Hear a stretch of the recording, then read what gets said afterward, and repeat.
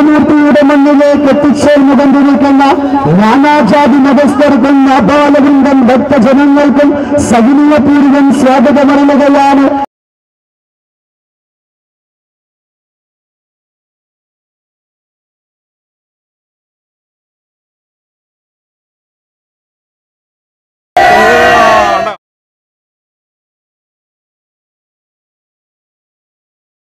നമസ്കാരം. ഓച്ചിറ വൃശ്ചിക മഹോത്സവത്തിന്റെ കാഴ്ചകളിലേക്ക് നിങ്ങൾക്ക് സ്വാഗതം. ഓണാട്ടുകരയുടെ മാമാങ്കമാണ് ഇനിയുള്ള പന്ത്രണ്ട് നാളുകൾ. കോവിഡിന് ശേഷമുള്ള ഒരു വലിയ ആഘോഷ പരിപാടികളാണ് ഓച്ചിറയിൽ അരങ്ങേറുന്നത്. അതിന്റെ വിശേഷങ്ങളാണ് ഇവിടുത്തെ ഉത്സവ ആഘോഷങ്ങളാണ് ഇന്ന് നിങ്ങളുമായി പങ്കുവയ്ക്കുന്നത്.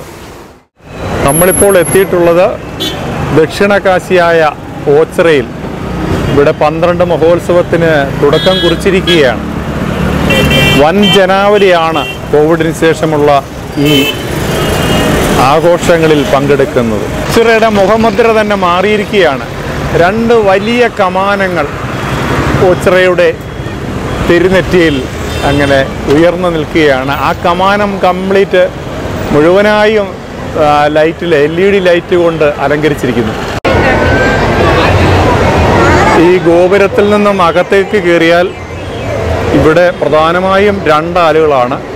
എന്നാൽ ആദ്യം കാണുന്ന ഒരു ഗണപതി ക്ഷേത്രമുണ്ട്. ക്ഷേത്രമെന്ന് പറയാൻ പറ്റത്തില്ല. ഇവിടെ അമ്പലവും മറ്റു കാര്യങ്ങളും ഒന്നും തന്നെ ഇല്ല.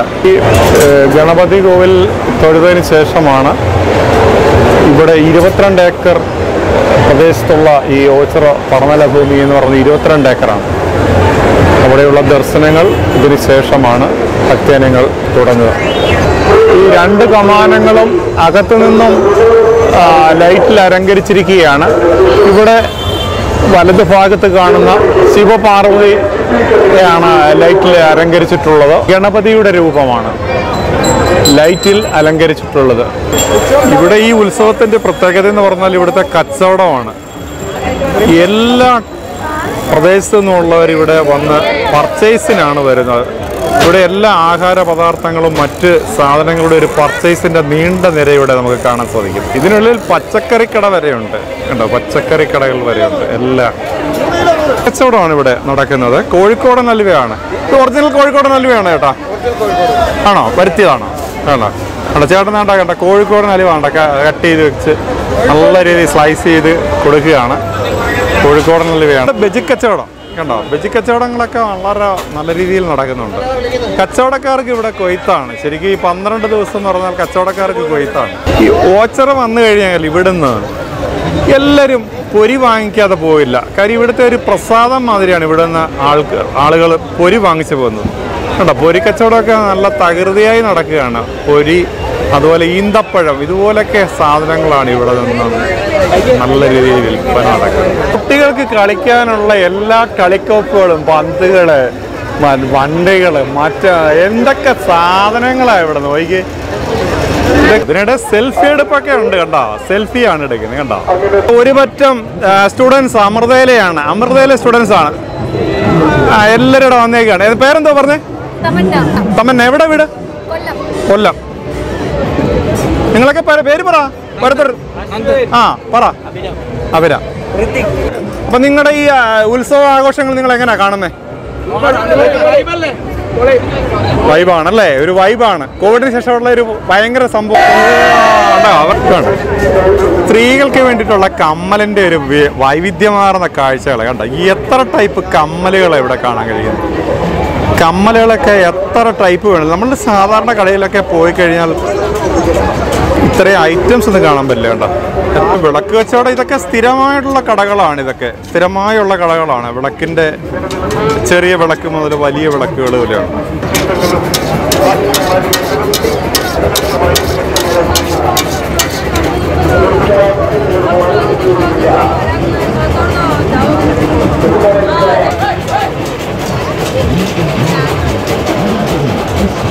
വൃശ്ചിക മഹോത്സവത്തിന്റെ കാഴ്ചകളാണ് പ്രേക്ഷകർ കണ്ടുകൊണ്ടിരിക്കുന്നത്. കോവിഡിന് ശേഷമുള്ള ഒരു ആഘോഷമാണ് ഓണാട്ടുകരയുടെ ഇവിടെ നടക്കുന്നത്. ഇവിടെ മതമൈത്രിയുടെ ഒരു സംഗമ ഭൂമി കൂടി എന്ന് പറയാം. എല്ലാ മതസ്ഥർക്കും ഒരുപോലെ ആരാധന സ്വാതന്ത്ര്യം നൂറ്റാണ്ടുകൾക്ക് മുമ്പേ ഇവിടെ ലഭിച്ചിരുന്നു. ഈ ക്ഷേത്രം വേലിത്തമ്പി ദളവായുടെ കാലത്ത് പണിത രണ്ട് ആൽത്തറകളാണ് ഇപ്പോൾ നിലവിലുള്ളത് എന്ന് കരുതപ്പെടുന്നു. ക്ഷേത്രത്തിന്റെ ചരിത്രവും മറ്റും പല ഐതിഹ്യങ്ങളും നിലനിൽക്കുന്നു.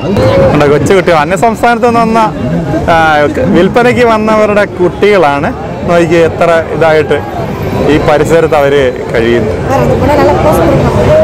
ക്ഷേത്രത്തിലേക്ക് പ്രവേശനം ഗണപതി ദർശനം കഴിഞ്ഞ് വന്നു കഴിഞ്ഞാൽ കാണുന്ന ഒരു പഴയ കെട്ടിടമാണ് അന്നദാനത്തിനായിട്ടുള്ള അന്നദാന മന്ദിരം. അന്നദാന മന്ദിരത്തിന്റെ ഇവിടെ സംഭാവന സ്വീകരിക്കുന്നതൊക്കെ ഇവിടെയാണ്. ഇവിടെ ഓച്ചറയിലെ ഏറ്റവും വലിയ വഴിപാടും അന്നദാനം തന്നെയാണ്. വൻ തിരക്കുകൾ അനുഭവപ്പെട്ടു തുടങ്ങി. ഈ ഉത്സവം എന്ന് പറഞ്ഞാൽ ഉത്സവ കാഴ്ചകളാണ് കണ്ടോ? കുട്ടികളൊക്കെ രക്ഷിതാക്കളുടെ അടുത്ത് എല്ലാം ഓരോന്ന് വാങ്ങിപ്പിക്കുന്ന ഒരു കാഴ്ച. ഇവിടെ അമ്പലമില്ല. എന്നാൽ പല ഭാഗങ്ങളിലായി ഇതുപോലുള്ള സങ്കേതങ്ങൾ കാണാം. ഇവിടെ ആത്മീയ ചൈതന്യം ഈ പരബ്രഹ്മ സന്നിധിയിൽ മുഴുവൻ നിറഞ്ഞു നിൽക്കുകയാണ്. ഇതെല്ലാം അന്യ സംസ്ഥാനത്ത് നിന്ന് വന്നവരാണ്. അവരുടെ ഒരു കച്ചവടം കണ്ടോ? ക്ഷേത്ര ദർശനം എന്ന് പറയുന്നത് ഇവിടുത്തെ രണ്ട് വലിയ ആൽത്തറകളാണ്. പരബ്രഹ്മമൂർത്തിയുടെ സന്നിധി എന്ന് പറയുന്നത് രണ്ട് ആൽത്തറകളാണ്. ഒന്ന് ശൈവ വൈഷ്ണവ ഭാവങ്ങളാണ് ഒന്ന് ശൈവഭാവവും ഒന്ന് വൈഷ്ണവ ഭാവമുള്ള ആൽത്തറകളിലാണ് പരമേശ്വരമൂർത്തിയുടെ സങ്കേതം എന്ന് പറയുന്നത്. ഈ ക്ഷേത്രത്തിൽ നമ്മൾ ക്ഷേത്ര ദർശനത്തിന് കയറുമ്പോൾ തന്നെ കാളകളെ കാണാം. അതായത് ശിവന്റെ വാഹനമായ കാളകളെ ഈ തിരുനടയിൽ നമുക്ക് കാണുവാൻ സാധിക്കും. ഈ കാളകൾക്ക് ദക്ഷിണ സമർപ്പിച്ച് അനുഗ്രഹം വാങ്ങിയാണ് ഉള്ളിലേക്ക് പ്രവേശിക്കുന്നത്.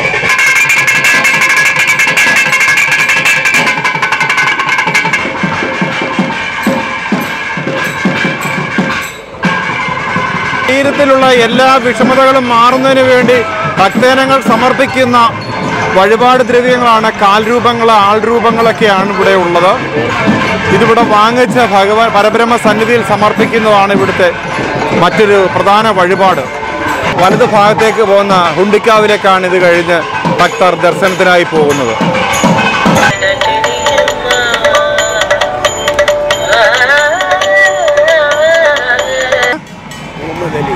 മുഹമ്മദ് അലിയുടെ വീട് എവിടാ? സുൽത്താൻ ബത്തേരി. അപ്പൊ ഇവിടെ വരാറുണ്ടോ നേരത്തെ? ഇരുപത് വർഷങ്ങളായിട്ട് ഇവിടെ വരാറുണ്ട്. ഇരുപത്തഞ്ച് വർഷമായി. മറ്റ് സ്ഥലങ്ങളൊക്കെ എവിടെയൊക്കെ പോകാറുണ്ടോ? തമിഴ്നാട് കർണാടക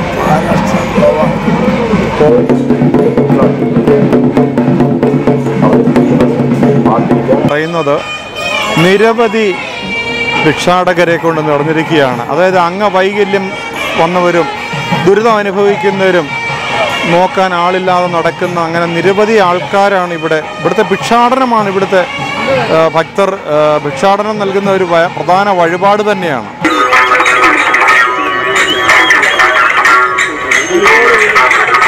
ചുറ്റുവിളക്കുണ്ട്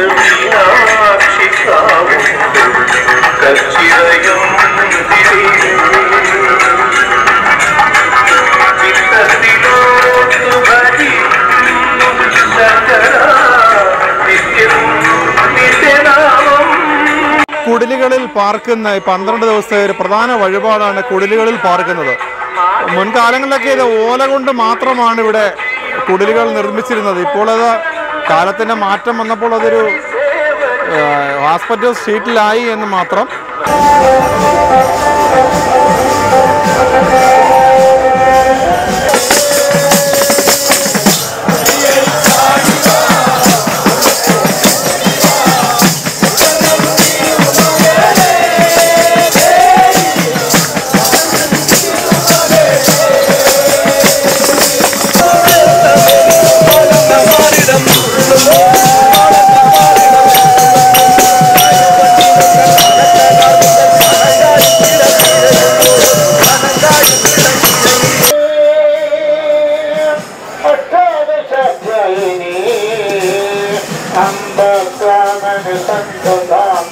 എട്ടുകണ്ടം ഉരുളിച്ച ഈ ഈ ജലാശയത്തിന്റെ ചുറ്റുമാണ് കറങ്ങിയാണ് വരുന്നത്.